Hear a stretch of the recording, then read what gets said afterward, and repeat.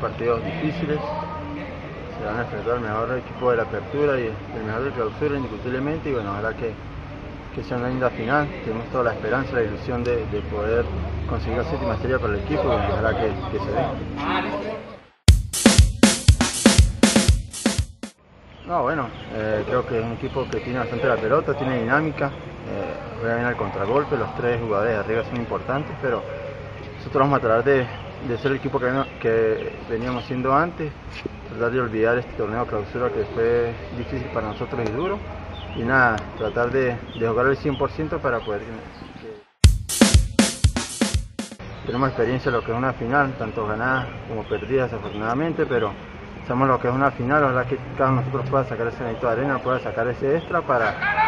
para poder conseguir un, una serie complicada y difícil ante un rival que, que quiera hacer las cosas bien. Eh, más allá del,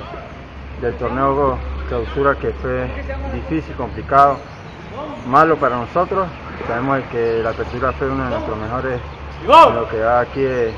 de, lo que llamamos aquí en el, en el, equipo y nada, ojalá que, que se, la motivación es la gran final, creo que no lo juega todo el mundo, no se vive siempre y bueno, ojalá que, que se pueda dar una, una victoria para, para poder eh, recuperar todo lo que hemos perdido. Yo